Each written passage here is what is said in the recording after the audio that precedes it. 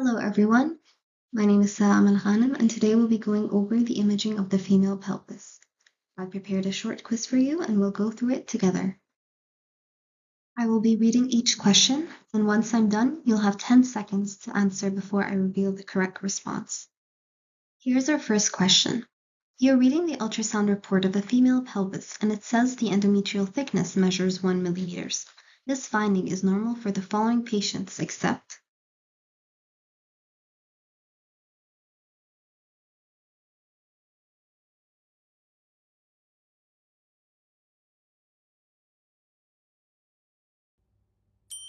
All right, so the correct answer is B, 25 years old on days 20 of her menstrual period. Why? Because at day 20, the endometrium should be in the secretory phase and much thicker, which is unlike what we see over here. It often can go up to 8 to 16 millimeters, but here, the thickness of 1 millimeter would be abnormally thin. However, in a child or adolescent or even postmenopausal woman, or even earlier in the cycle at day 5, the thin endometrium is expected. All right, next question.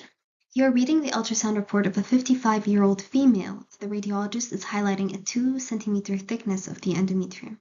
Your differential diagnosis includes all except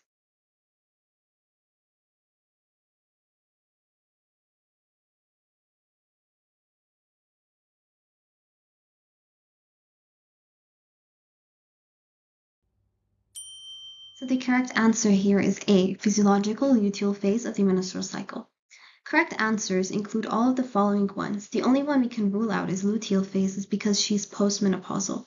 The thickness should be less than 5 millimeter, if not on hormonal replacement therapy. Anything more would be abnormal and warrants further evaluation. You are performing a pelvic ultrasound for a postpartum lady four weeks after vaginal delivery. You notice that the endometrium is echogenic and measures 3 centimeter in thickness. You apply color Doppler and detect both arterial and venous flow within it. Your diagnosis is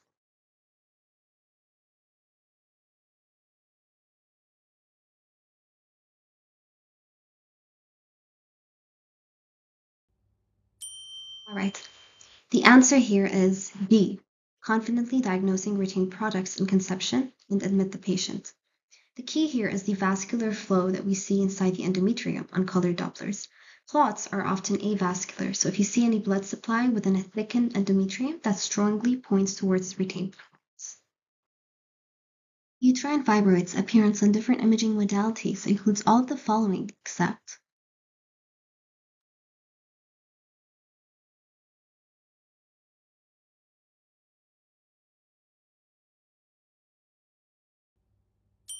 The correct answer is C, hyperechoic on ultrasound. So fibroids are usually hypoechoic, sometimes heterogeneous, but not hyperechoic. On MRI, they are isointensity myometrium on T1 and they enhance with IV contrast.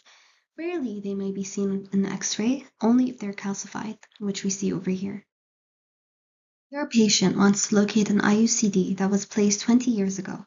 What is your first modality of choice?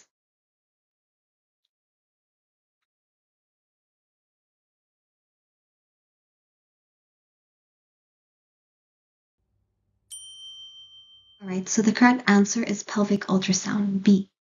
Ultrasound is safe, fast, and non-invasive.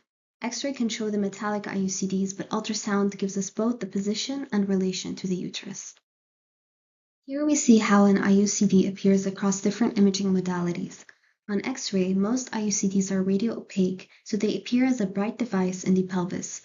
It's useful if the IUCD is suspected to be displaced. However, on ultrasound, it's the first-line choice. Metallic or copper IUCDs give a strong echogenic line with a posterior shadowing. With the Mirena or the hormonal IUCD, we see the echogenic arms and the shadowing effect in the endometrial cavity. Meanwhile, on CT, the IUCD is also clearly visible. The CT scans show if it has migrated outside the uterus. An MRI is usually seen as a signal void, so it's rarely needed. You are looking at a pelvic ultrasound and there is a Mirena coil in a good position within the endometrial cavity. What do you expect the endometrial thickness to look like?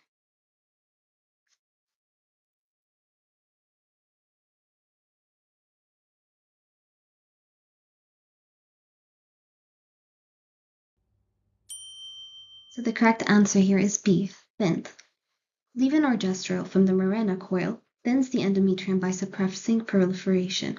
That's why it's protective against the endometrial hyperplasia and bleeding. Five-year-old child inserted a toy rectally or vaginally, according to her caregiver. You perform a clinical examination and can't locate the object. What imaging modality can you use to find it?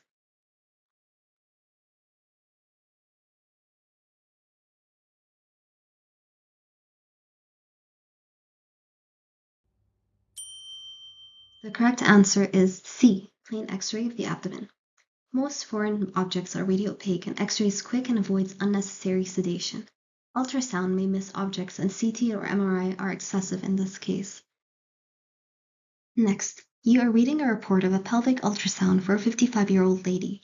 There is a description of a mixed hypo and hyperechoic lesion in her right ovary with increased vascularity within it on color Doppler measuring 5 cm in diameter with some free fluid in the cul-de-sac. Your differential diagnosis includes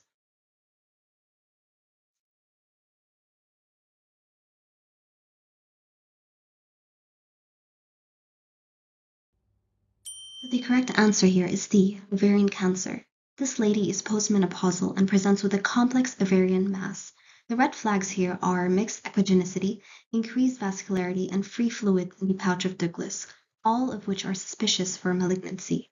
At her age, physiological or hemorrhagic cysts are unlikely, and ectopic pregnancy is not possible. Ovarian torsion would typically show reduced rather than increased blood flow. Last question. Your relative was suspected to have bicornuate uterus. Which modality of choice is used for diagnosing Müllerian duct anomalies?